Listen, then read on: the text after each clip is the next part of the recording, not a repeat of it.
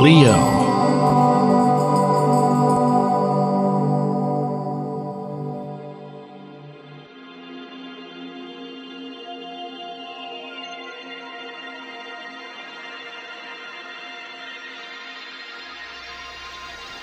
Hello, Leo, and this is your June forecast for 2013.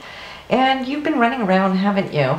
really busy here uh, last month in May uh, as far as your career. Really picking up the threads. Why? Because in, in March and April, you were busy elsewhere. There was other things occupying you fully, totally. So this month here of May, if you're listening to it um, uh, on the May side of your forecast, uh, you'll see that you're still busy kind of running around there.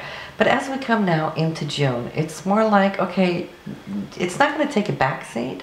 It's just going to shift the dial, so to speak, because here in May, it was all about laying some new foundations here uh, for your career, which now you're going to take out and you're going to start networking it.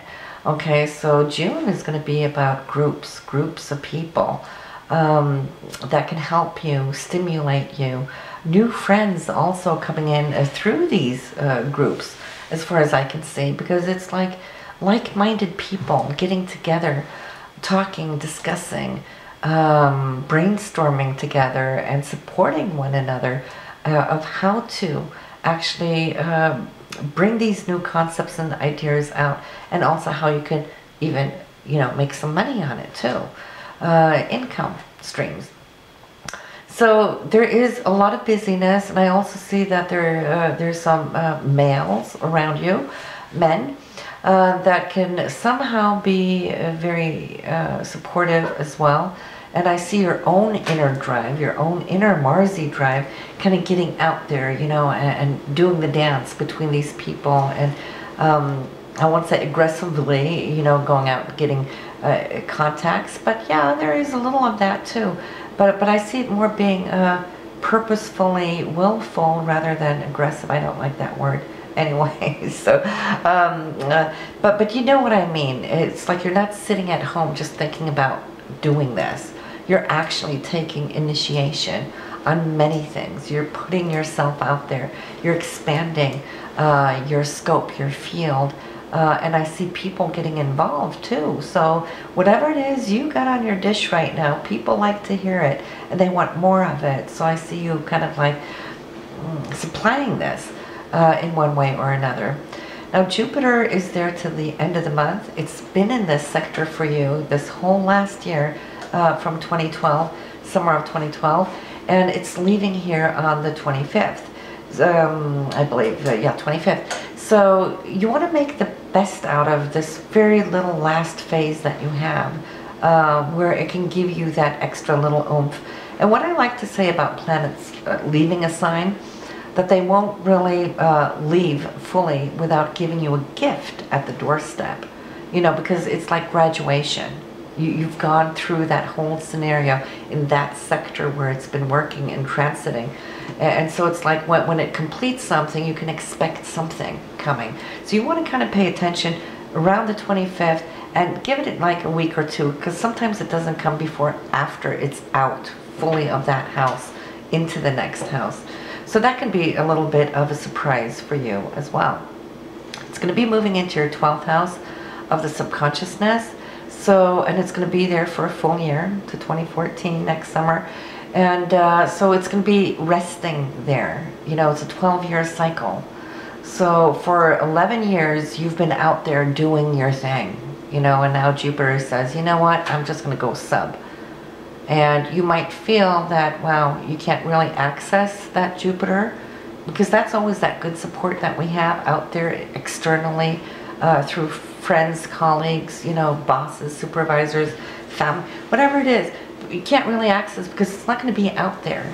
But what you're going to find out, and we're going to talk more about that next month, um, Leo, but where you're going to find Jupiter, which is the planet of joy and expansion and abundance, you're going to find it right in here. Okay? So she's going to move within. She's going to internalize. And you, maybe for the first time for many of you, will actually become your best, your own very best friend forever. You're going to merge. You're going to be one. You're going to align yourself, tune in, listen to, uh, and actually hear the guidance coming from her, from Jupiter, which is also one of your, your guardian angels are going to be there as well. So, so don't freak when you can't really find it out there because where you want to go for that uh, advice is always in here and listen and attune to the advice that Jupiter gives. More on that later. But for right now, anyway, uh, as we go off top of the month, uh, it's starting out on the first with the Sun and Uranus, they're sextile. So it's going to start off with a bang of something unexpected. Uh, feel it's a good surprise, unexpected, because it is a sextile. It is a good one. And then the third, there's some communication uh, with Neptune and Saturn, which is positive. And Neptune um, and Saturn for you will be from the fourth house and the eighth house to uh, Mercury in the 12th. So something within your foundation, your platform, your home, um, or what you perceive being your anchor, your, your security, your roots, you know, securing your roots, so to speak. There's going to be some talks here with Mercury on it. And then Neptune has to do with other people's money so uh, communication there, you could be communicating maybe perhaps something about grants, uh, loans, uh, or commissions, or royalties. But, but see, between these, it's all looking pretty good. Um, good time to, to write up any papers or put in any applications for that, for example. And then on the 7th, uh, we also have Venus doing the same thing here with Neptune and with Saturn. And Venus at the time will be also in your 12th house, subconscious longings, yearnings, you know, what you value, what you love, what you desire, what you want but can't have because it, it's hiding now in the 12th house. It's not out there. Okay, can't access that Venus out there. Right now for this month, you got to go within and reapply those same values that you're looking for to yourself. Okay, you got to bring up that love within, self-love. And that Nep that Venus there is going to be trying that Neptune in the eighth house. And Neptune, Venus, that's love and idealism and what we really, truly, truly want. Uh, and feeling a little cut off from it may hurt a little bit, but uh, it's also going deep because the eighth house is ruled by Pluto. You know, so there's intimacy things here. Uh, that Neptune's in the intimate house of longing and yearning for something that's transformative uh, for you romantically. Venus in the 12th, right?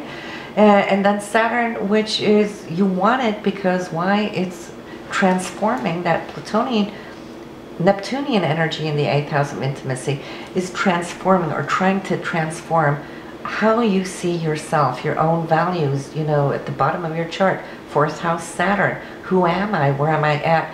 What are my roots here? And, and that's in the house of Pluto, or Scorpio, which is ruled by Pluto too.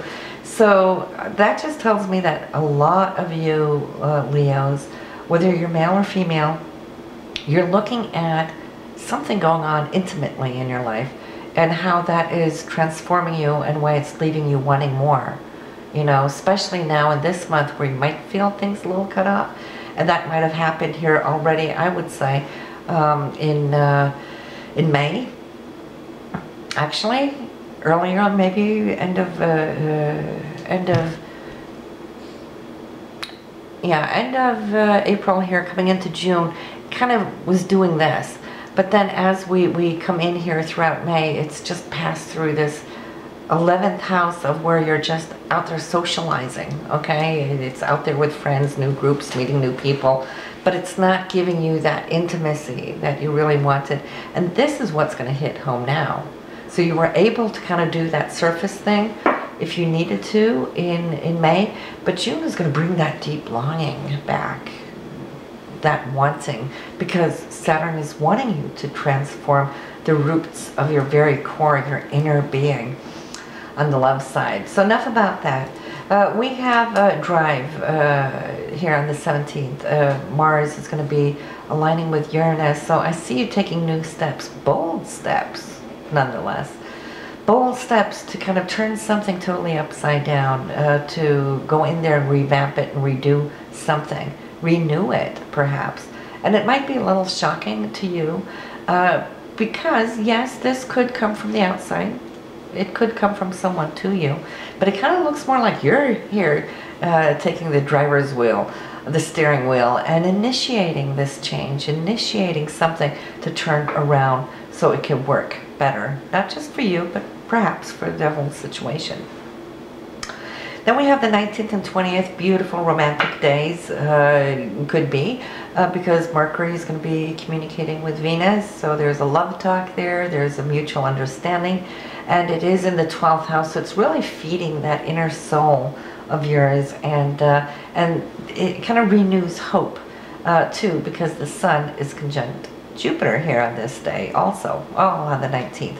So within that, those couple of days. So something is going to come back together. It's going to gel. The sun is moving into uh, um, Cancer. Excuse me. The sun's moving into Cancer on the 20th.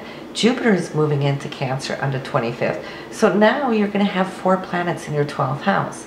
That's the universe telling you it's time to kind of step back and listen to your needs. Now you've been running around like crazy there in May and June but you know it, it's like coming towards the end of the month into July you're really going to feel like you're pooped you know? So it's time to put your feet up. Little time for meditation. Go sub. Listen to some meditation music and, and just go off on some astral journeys would be soothing very soothing for you. I'm going to be putting together some meditation music so maybe that can you know do you all some good and then we also have Venus going into your sign here on the 27th. So it's going to be climbing over your ascendants into your first house. And that's something that will make you radiate like the Empress. If you're a male, you will be the Emperor.